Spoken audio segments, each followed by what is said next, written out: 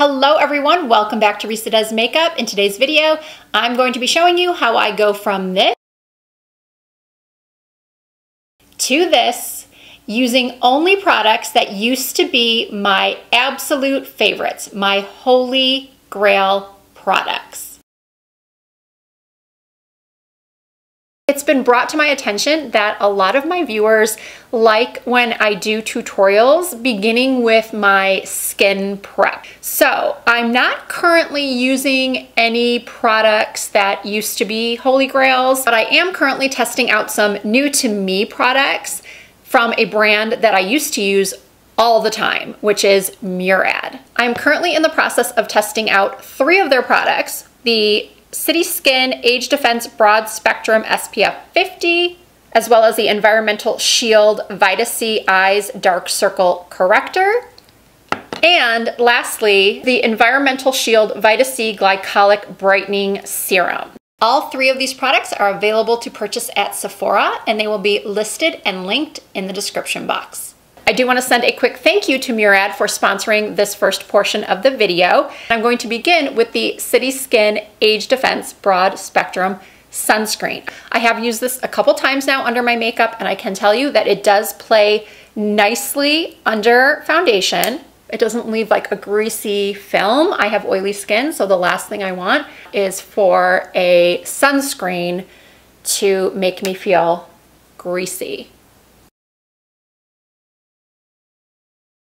And if you notice, I have skipped the area around my eyes because I am going to prep with the eye cream. I have to admit, I am super lazy when it comes to eye creams, and you do have to be consistent for them to work. And this one sounds really, really promising. It contains stabilized, I'm gonna start putting it on while I talk. It contains stabilized vitamin C, and it's supposed to help correct those blue, brown, and red tones in under two weeks.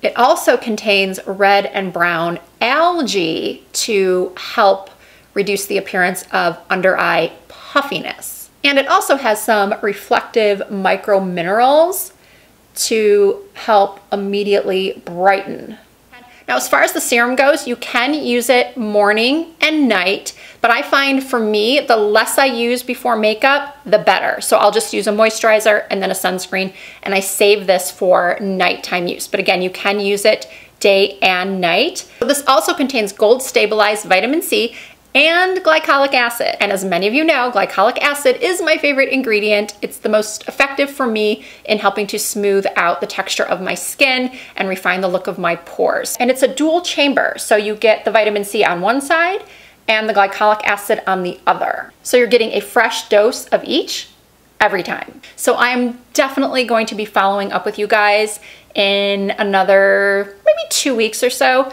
to give you my full results to show you what sort of improvement that I've seen. Okay, let's get started with the makeup. The eyeshadow primer that I used to use all the time is this one from Urban Decay. It's their eyeshadow primer potion. I do believe this is one of the first eyeshadow primers on the market, or at least one of the first that I was ever aware of. I remember I started using the NARS eyeshadow primer when I had my makeup boutique, but that was back in like 2008, 2009, I think is when the primer came out. Now I think pretty much every brand makes an eyeshadow primer. And then for my face, a long, long time ago, I used to use the Smashbox Photo Finish Primer. I really liked it for the way it just blurred my pores so well. I couldn't find that one in my stash anywhere, but I found this one that's been neglected for quite a while that I used to rave about a lot and I still think is amazing. It is the Strivectin Anti-Wrinkle Line Blurfector. This is so good at not only smoothing out my pores, but also fine lines. I used this on a client once a long time ago that had some lines on her forehead and this just, no joke, completely erased them. So for foundation, I am using my beloved Studio Fix Fluid anytime anyone asks me what my top foundations are for someone with oily skin, I always say Studio Fix Fluid. Now, in the past few months, there have been a couple of new foundations to the market that are definitely in the running to take first place for my top foundation for oily skin. I've talked about them in a couple of videos recently. One of them in particular being the NARS matte foundation, the new one. And of course, Estee Lauder Double Wear is fantastic for oily skin. I love the Charlotte Tilbury Airbrush, but this will always be my OG favorite. And I used to always apply my foundations with either a beauty blender or a brush. And I think it was about a year ago, why can't I open this? That I started using this Stands Out Beauty Sponge, which is like a memory foam sponge. I don't know why I love it so much. I just do. It applies my makeup so quickly. And because you use it dry, it doesn't soak up nearly as much product as a beauty blender does. And it just gives me this airbrushed finish. Now the shade I'm using is NC37 and it's a little yellow and dark for me right now. I usually wear this one when I've done a little bit of self-tanning, used an at-home tanner. So this definitely is a little bit off, but I will bring it over my ears, down my neck. People always ask me what shade I am in Studio Fix Fluid, and you would think with all of the shades that this comes in that I would have a perfect match, but I don't. I usually have to mix. And I'll mix an NC shade with an NW shade to get something more neutral. I just love the finish of this foundation. Now I'm pretty much still using a lot of my old favorites when it comes to concealers. The NARS Radiant Longwear, um, the Milani concealer. I really like the one from Maybelline, the Super Stay. But before I became a fan of all of those, I used this MAC Pro Longwear concealer. And I think it still comes in this packaging. And that's disappointing if it does because my issue with this concealer, my biggest problem with it, is that if you try to pump it, you always pump out too much. And a little bit goes such a long way, so you have to be careful when using this. But it gives such good coverage. It's really underrated, I think. And I'm actually going to bring a little bit of it onto my lid. Now, the Urban Decay Primer Potion does come in the Eden formula, which has a little bit of color to it, or I should say the Eden color, not formula. It has some color to it that neutralizes the skin on the lid like I'm doing here. So what I'm trying to say is that that's a good option if you don't want to put concealer over your lids over your primer.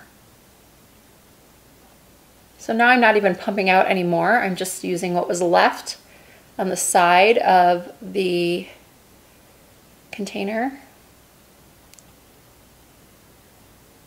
If you use too much of this, it will get cakey. I also know of a lot of makeup artists that use this as a foundation. At least so my OG loose powder for years and years was the Laura Mercier Translucent Loose Setting Powder. As I've gotten a little bit older, I've started using powders that I think are a little bit better for more mature skin, like the By Terry Hyaluronic Powder, like the Charlotte Tilbury Airbrushed Powder. Um, I use the Huda Beauty Powder a lot, except that one is very, very heavily fragranced. I'm trying to think of any drugstore powders that I think are really good. Um, Maybelline Fit Me loose powder is good, but today I am using the Laura Mercier. But I am not using it to set my under eyes because when I use this powder to do that, I feel like it ages me 10 years. All of those other powders I mentioned are far better for mature skin when you want to set your under eye concealer. So I'm gonna cheat a little bit and use my Huda Beauty just to set under my eyes. I can't tell you how many of these I've gone through over the years. The Benefit Original Hoola Bronzing Powder. Now this product comes in, I think, a lighter shade and a darker shade, which was very necessary because for the longest time this was the only shade and it didn't work for most lighter skins and it didn't work for a lot of darker skins either. So I don't know what took them so long to come out with more shades, but I'm glad they did. All right, moving on to eyebrows. My holy grail used to be, again from MAC, the Lingering Brow Pencil. I don't think it even looks like this anymore, and I'm not sure if I have enough left to do both eyebrows, but I brought a backup product just in case.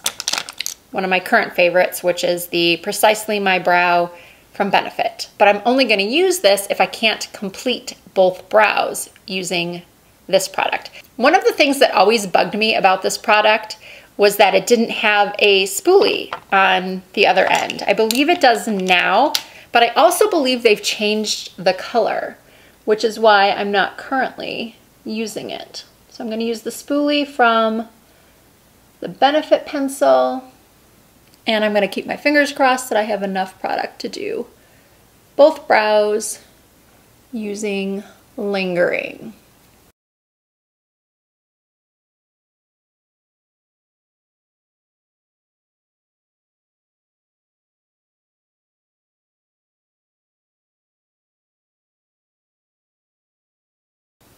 I was able to get them both done. And now I'm gonna set with this product right here. It's the Maybelline Brow Precise Fiber Volumizer. I buy this on Amazon because I can't find it anywhere in stores. There is a new Maybelline Volumizer or fiber product on the market, but it is not as good as this one. So I will continue to buy this on Amazon until I can no longer find it. I just love how this gives me a real natural looking bushy brow, you could say. My eyebrows are nowhere near bushy. This product just makes them look a little bit more natural and a little bit fuller. Okay, it's eyeshadow time. Blast from the past. This is the Lorac Pro Palette number four.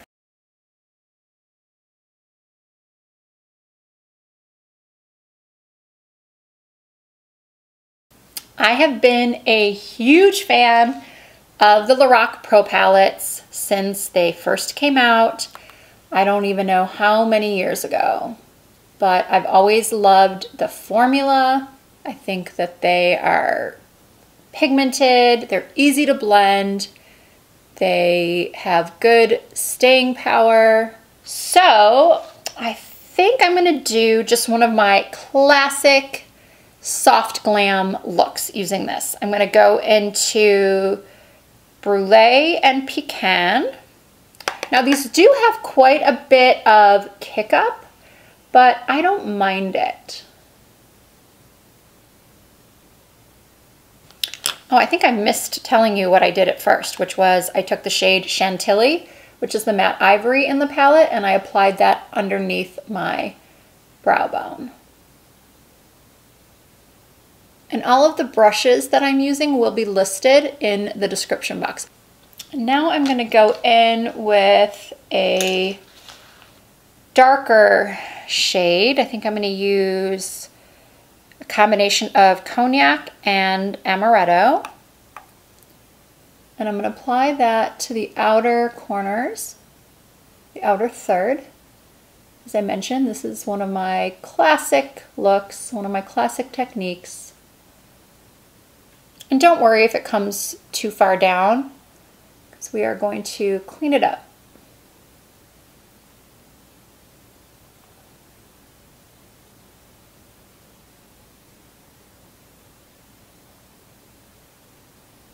So I'm making little circles and then blending upwards and in towards my nose. Now I'm going to use one of my favorite soft gold shadows of all time. It's called Candlelight.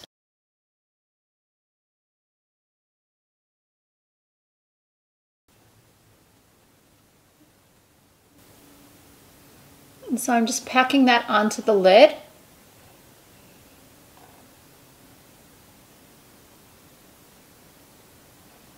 And I'm avoiding the outer corner.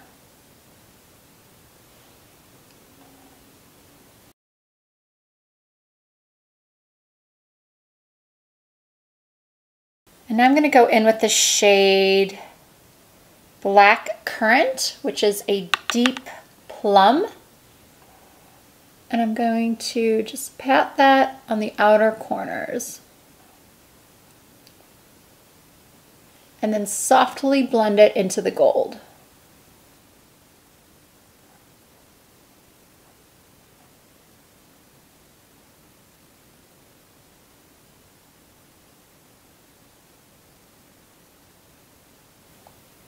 So that's what we have currently. And now I'm gonna take a pointed Q-tip and some eye makeup remover and clean up.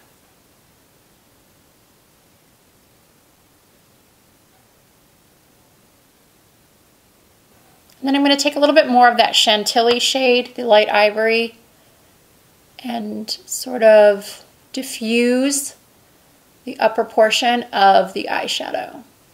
And then I'm also going to take my Stands Out sponge and just stamp a little bit in this area underneath the shadow where I used the um, makeup remover. Now I have said recently that I am no longer doing winged liner, but since this is supposed to be more of a throwback video, I am going to do a winged liner using, of course, the liner that I used to use all the time, which is this one from Kat Von D or KVD Vegan Beauty, I believe it's called now. This is the tattoo liner in Trooper Black. I don't have the full size. I just found this sample size lying around. So once again, I hope there's enough in here to be able to do what I want to do, which is a winged liner.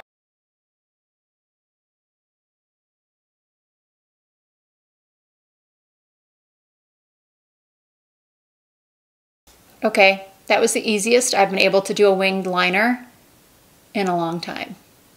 Honestly, I don't know what just happened. It has been months since I have been able to do my eyeliner this good.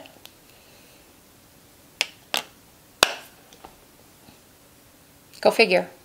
So now I'm going to do one last little thing, which is take the Midnight shade, the matte black, and I am just going to tap, tap, tap right on the outer corner, right in that little bitty fold.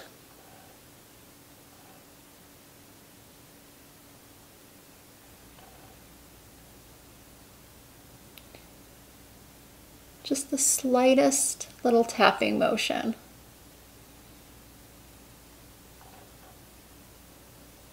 and then going back and blending it a little bit.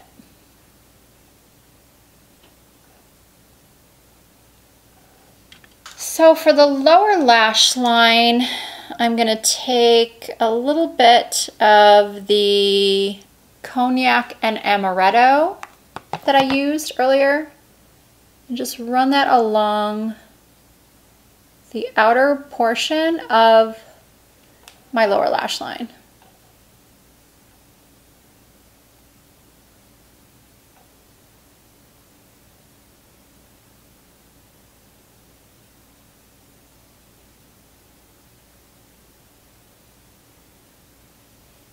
And now for the inner portion of my lower lash line and my tear ducts, I'm going into the shade Soft Pearl and applying that, well, just where I said. This portion of the lower lash line and the tear duct.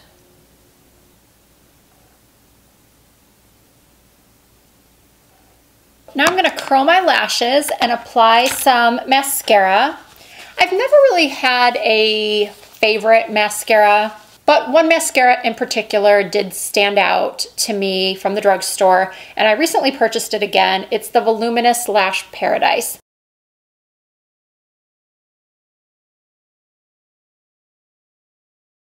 Face. So now that the eyes are pretty much done, we can start finishing off the face. I am going in with Milani Luminoso. I still think this is one of the most gorgeous blushes ever. It gives such a beautiful glow without being over the top. It works with so many makeup looks. And I could really stop here. I don't even need a highlighter. But I've been dying to use one of my favorite highlighters of all time again. This is the Mary Lou-Manizer from The Balm. This is another product that I sold at my makeup boutique in 2007 through 2010. And it's still, I think, one of the best on the market. Look at that glow. It might be a little bit much after the Luminoso, but uh, it's so pretty. I actually want to put a little bit of this in my tear duct to bump it up a little.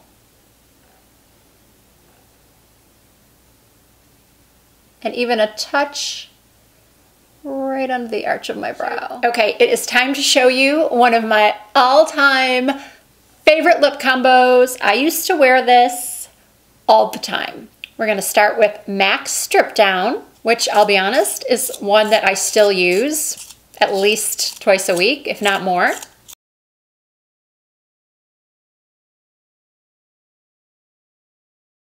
Then next up was Shy Girl from MAC.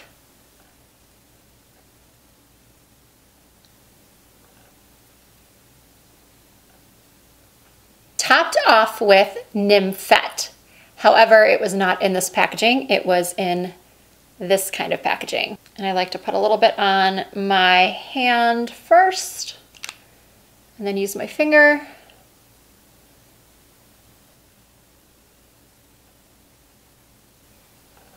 This was my go-to nude lip.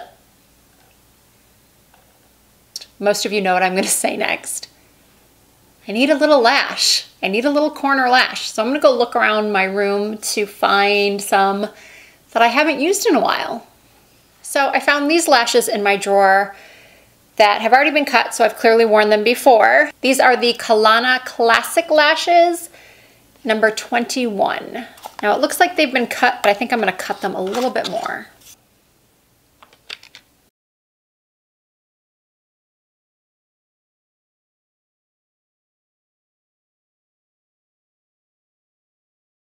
So the look is complete and I have to say I am really happy with the way it turned out.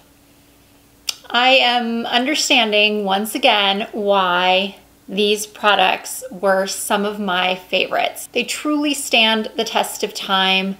I would still recommend any of these products as always, they will all be linked in the description box. If you have any questions at all, please don't hesitate to leave them for me in the comments. If you did enjoy this video, please give it a thumbs up. I really appreciate that. And if you're not already a member of the Risa Does Makeup family, I encourage you to hit that subscribe button and join us. We'd love to have you. You can also find me on Instagram, Facebook, and Twitter under the same username. It's all Risa Does Makeup. Once more, I truly appreciate you taking the time out of your day to watch my video, and I look forward to seeing you again very soon.